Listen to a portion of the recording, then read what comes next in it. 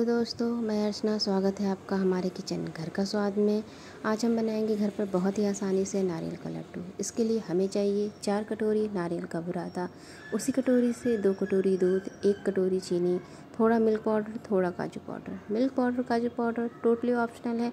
अगर आप चाहें तो डालें, अदरवाइज़ इसे स्किप भी कर सकते हैं। अब हम गैस पर दो चम्मच घी चढ़ाएँगे।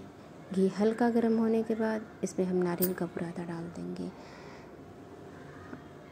फ्लेम को मीडियम टू लो रखें। इसे चलाते हुए दो मिनट तक भून लें। ज़्यादा बिल्कुल ना भूनें, नहीं तो इसका कलर चेंज हो जाएगा। भूनते हुए दो मिनट हो चुके हैं। अब हम इसमें ऐड करेंगे दूध।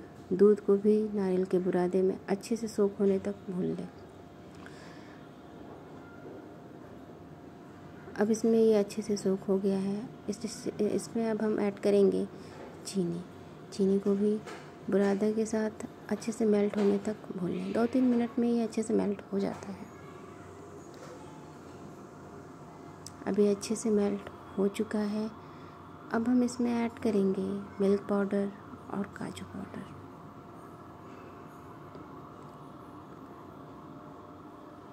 ये नारियल का बुरादा मैंने घर पर ही सूखे नारियल को मिक्सी में पीस कर बनाया है। इससे टेस्ट काफ़ी अच्छा आता है। आप चाहें तो मार्केट का भी नारियल का बुरादा यूज़ कर सकते हैं। अब हमने मिल्क पाउडर और काजू पाउडर को अच्छे से चलाते हुए मिक्स कर लिया। अब गैस का फ्लेम ऑफ़ कर दें, बैटर थोड़ा ठंडा कर लें और इसे हल्के हाथों से प्रेस करते हुए गोल आकार दें और लड्डू बनाएँ। इस तरीके से। अब ये हमारा लड्डू बनकर तैयार है। अब इसे हम नारियल का बुरादे में कोट कर लेंगे, जिससे इसका प्रेजेंटेशन काफ़ी अच्छा होता है।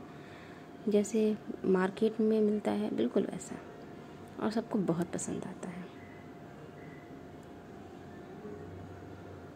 इस तरीके से। इसी तरीके से हम अपना बाकी का भी लड्डू बनाकर तैयार